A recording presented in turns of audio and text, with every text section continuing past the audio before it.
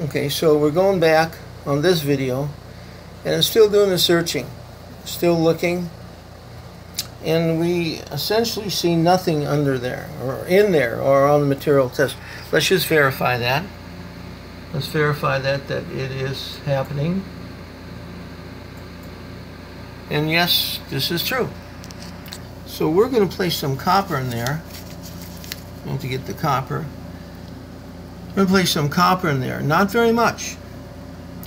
So it should detect, it's on automatic, and it should detect, and indeed it does detect the copper. So we're seeing the copper as it is being detected. Now we'll slide back around, take that away. And it doesn't take much because essentially we are very close. Once again, it's a bench test, so we're doing real well. I scan like this just to make sure there's nothing in the area coming back around to kind of verify the test. Once again, should be searching, should be finding no material found, which it does not, zero grams. That's very good. Let's um, let's search back around here. Let's see if we can put a smaller amount of gold here. Let's try a couple of them and see if we can do that. Let's once again I try and search or basically I try and set it up so we can take and kind of verify that you know it's that you verify the numbers and things like that I think it's a good thing. So we scan back around look in the area okay and we're looking and sure enough it does detect the gold. So it detects the gold. Let's take and just move back one more time and let's try and pull this off of here. And let's try let's try one silver coin here. Um, it should be detecting that silver coin. Let's see if we can let's see if we can do that where we can actually see the numbers on the unit here or the numbers on that silver. Once again we scan back around make sure there's nothing in the area. Kind of verification and sure enough let's see do we see that? Yep we see it on the screen. Normally we'd have a lot of bells and whistles and things but sometimes people don't want that so they watch us on the screen. In fact we're going to take those lights on top off possibly so people don't see that. Uh, the unit is very simple. It's got a start button.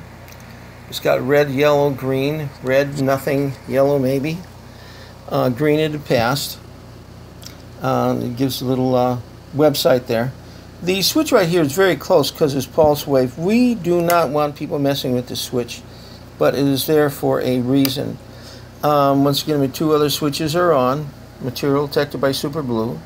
We don't even have to turn it on here because we have it set for automatic. So it could be set for automatic with a certain switch that only you know about or you know how to operate it.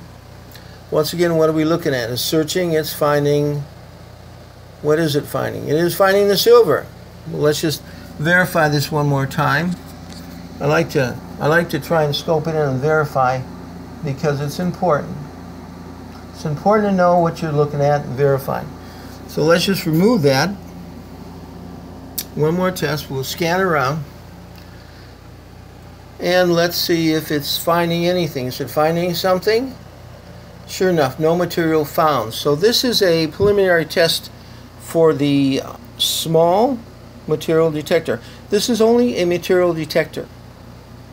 Uh, I will give a lot of information on another video about the unit and technology and things like that. So please follow up and look at the other video.